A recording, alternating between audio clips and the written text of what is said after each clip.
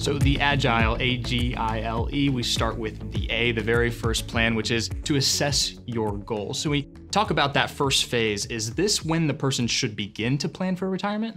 I think people need to begin the planning process 10 years before they actually decide that they want to retire. There's a lot of planning that's necessary for successful retirement, and it takes time to be able to build their wealth in a tax efficient way uh, to get to that final point when you're actually going to retire. So the planning is very important, and it should start about 10 years prior to retirement. And that takes us right to our next plan, and that's uh, the, the G phase of the Agile plan, which stands for Get ready. Get ready. Okay, so getting ready. Why is this phase so important to the whole overall goal? Well, getting ready really starts to focus on some of the things that don't revolve around money. Uh, we know that money is very important in retirement, and we know that we need to make sure that we have enough to do what you want to do and to be able to not run out of money. But it's not the only thing. Uh, what's more important is really what is your happiness going to be found in? Do you want to be working part time? What is going to be your new purpose in life? Instead of getting up and going to the office, what's going to be your new routine?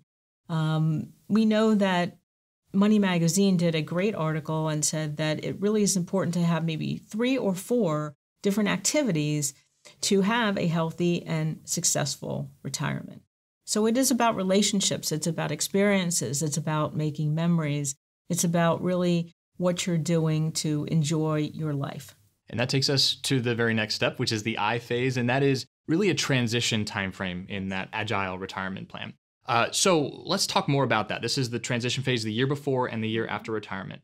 What should people be doing to prepare themselves for this phase? Okay, so at this point, you know, we've really thought about retirement, and now it's time to actually make decisions. It's time to make elections, it's time to make irrevocable decisions. And this is very, very important. This sets us on a path for retirement, especially on the financial end of things. You'll be making decisions with regard to Social Security or pension elections. You'll be deciding on uh, getting different types of insurance. So these are very this is a very active time in retirement. This may take more meetings with your advisor. And after you do this part of the planning process, then you'll be able to move on successfully to the next phase. And that next phase is the is L phase. Live the dream. Live the dream. So uh, in this phase, that's now somebody is now retired, but that doesn't necessarily mean that they're not working, right? That is correct. This really means at this particular time in Live the Dream is you get to reap what you sow. Uh, you've been planning, you've been saving, and now you actually get to do some of those things you've been dreaming of.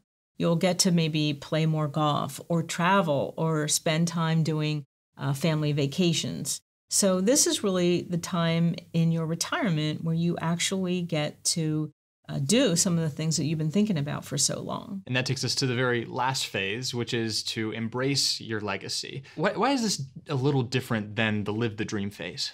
Well, the legacy has to do with really deepening the uh, relationships that you have with your heirs.